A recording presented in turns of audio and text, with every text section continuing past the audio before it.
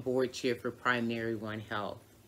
2020 was a challenging year for everyone, not just us. However, we rose to the challenge. Our leadership team developed and the board passed a very stringent and strong contingency plan. The plan allowed us to sustain the organization, to grow our partnerships, and to protect our patients and staff during COVID-19. Our motto became, we are all in this together. Together we are one. Primary One Health. I'd like to introduce our CEO, Charleta Tavares, who will enlighten us more about the accomplishment from the past year. Thank you. Hello, as CEO of Primary One Health, I'd like to welcome you to our 2020 annual meeting and community report. But first, I'd like to introduce you to our board of directors, 51% who must be patients of Primary One Health.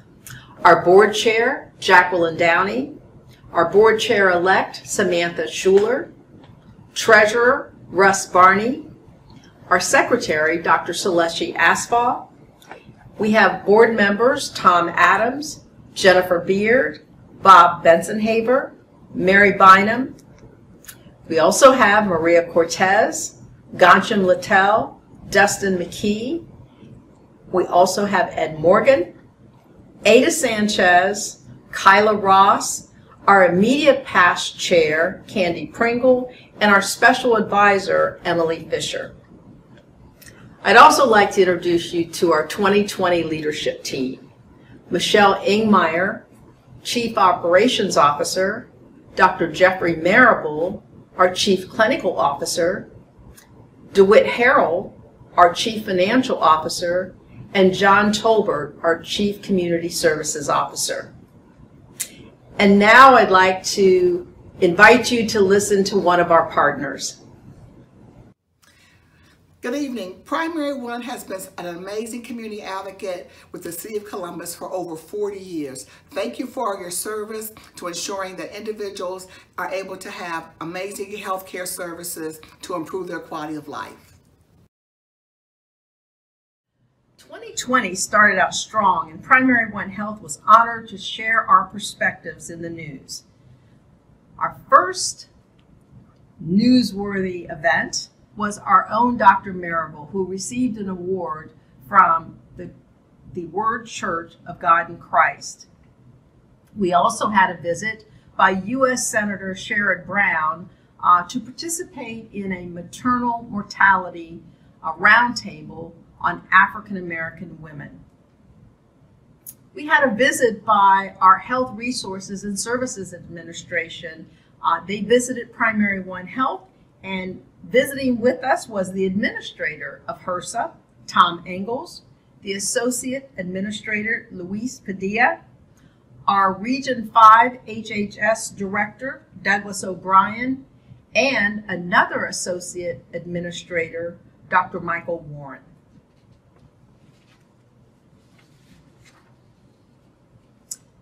Here's another one of our supporters and partners. Columbus Public Health is proud to partner with Primary One.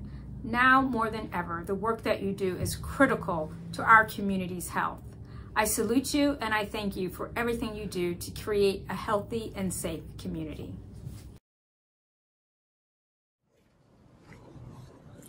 Then the novel coronavirus known as COVID-19 pandemic struck and Primary One Health quickly pivoted to telehealth visits, which we were unable to do previously. In two weeks, Primary One Health went from no telehealth visits to 70% of all patient visits performed by telehealth. In 2020, 51,000 of our patient visits were telehealth, with the majority in family medicine, internal medicine, and behavioral health. The senior leadership team quickly developed a contingency plan, which was approved by the board and called for no staff layoffs or furloughs. The grants team worked hard and diligently and applied for and received $7.7 million in grant dollars for 2020. Our revenues for 2020 totaled $42.2 million, and 62% of our visits were reimbursed by third-party payers. Our expenses for 2020 were $40.3 million. Staff did an outstanding job of managing expenses, and 78% of the total expenses were used for patient programs. Primary One Health teams quickly developed four COVID test centers at our West Broad, Agler Road, 1905 Parsons Avenue, and East 17th Avenue locations.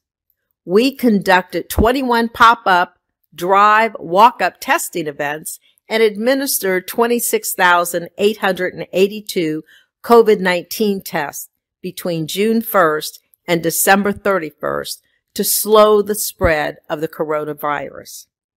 We expanded our partnerships with state, Columbus, Franklin County, and municipalities in central Ohio. And now here are other partners sharing their thoughts. Hi, this is Joe Mazzola, Health Commissioner with Franklin County Public Health. Just want to extend my thanks and appreciation for the partnership with Primary One Health, particularly over the last year. Everything you've done in terms of testing, in terms of community awareness, and now with vaccinations to help support our community throughout this year has just been extraordinary. We cannot say thank you enough to your staff, to your board, to your volunteers. Uh, so on, on behalf of everyone at Franklin County Public Health, thank you so much and have a great meeting. Thanks for planning, promoting, and running three COVID 19 testing sites in Bexley so we could get over 100 residents tested. You're appreciated. The City of Dublin helped more than 300 people get tested for COVID 19 at no cost with the help of Primary One Health's dedicated healthcare workers. Primary One's communications team also assisted with marketing efforts to get the word out to our community. Thank you for your partnership. We also partnered with faith-based and community organizations, schools, and businesses. Here's another partner presentation. Hi, I'm Pastor Mike Reeves, Senior Pastor of the Corinthian Missionary Baptist Church, and we send our congratulations to Primary One Health. And let me tell you, we are grateful for their partnership. This past year, we had a COVID 19 testing site, and it was magnificent. Congratulations, Primary One Health. Keep up the good work. Hello, I'm Reverend Derek Holmes, Senior Pastor of Second Baptist Church in Circle, Ohio. I want to talk for a brief moment about our partnership with Primary One with regard to COVID-19 testing and the vaccines uh, here in Circleville because of their generosity, because of their resources. Uh, we were able to make sure that people in this community were able to get tested quickly and efficiently. People were able to get quick access to the vaccine. And because people knew where they stood with the virus, it ultimately led to our community, uh, particularly poorer folk, uh, being able to be more safe in the community uh, to ultimately be well. So thank you, Primary One, for your partnership. It has been a blessing to this community. Hi, my name's Becky Hoagland, and I'm one of the school nurses at Columbus Academy. And I'd like to say thank you to all of you at Primary One for everything you did for us when we needed to have two pop up COVID testing sites, and you were able to help us with that. And I'd like to have a special shout out to Catherine, who really was wonderful to work with. And I could see myself wanting to come and volunteer and work at your company when I'm done being a school nurse. Anyway, thank you again and have a great day. Primary One Health has done a great job and has been a solid neighbor for core management.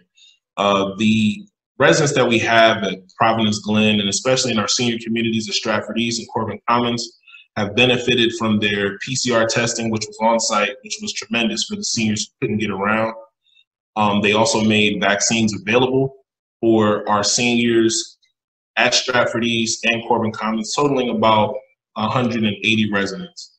Uh, we're proud to call them neighbors and look to continue our relationship in the future and beyond. Thank you.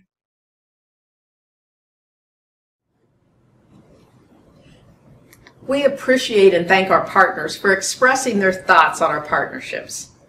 During this time, Primary One Health provided leadership with the governor's COVID-19 Minority Health Strike Force and the Columbus City Schools Safe Schools Working Group. Primary One Health recognized early on that racism is a public health crisis and provided testimony before the Ohio Senate. Primary One Health was also one of the first organizations in central Ohio to declare racism as a public health crisis.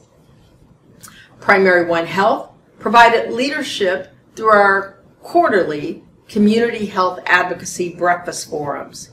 Each quarter, we address different topics related to the social determinants of health. This past year, we looked at employment for all and legal challenges, education, and transportation.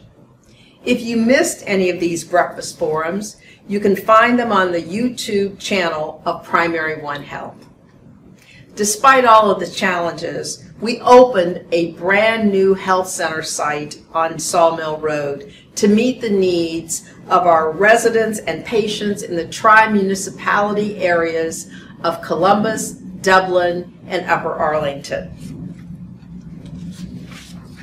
We pivoted our premier fundraising event, the Healthcare Justice Awards, to a virtual one in 2020. At this event, we honored Dr. Amy Acton, former director of the Ohio Department of Health, for her tireless work in guiding all Ohioans through the pandemic. We honored Primary One Health's own Cherry Mack for her tireless dedication to our patients, her work with COVID testing, as well as her infectious smile and positive attitude. In addition, we honored NBC4 as our 2020 community partner for their work with us on the Stuff the Backpack campaign, as well as their work to support the health of the community. We want to thank all of our 2020 donors. We recognize that 2020 has been a challenging year, and we are grateful for your support. Your dollars go to help our patients with necessities such as personal safety and protection equipment, addressing the social determinants of health, and food insecurity. You can watch our Healthcare Justice Awards on Primary One Health's YouTube channel. Be sure to save the date for November the 4th, 2021 at the Marriott University District Hotel. As we close our annual meeting and report to our community, we thank you, our stakeholders and patients, for supporting our work, your partnership and efforts to keep each other safe.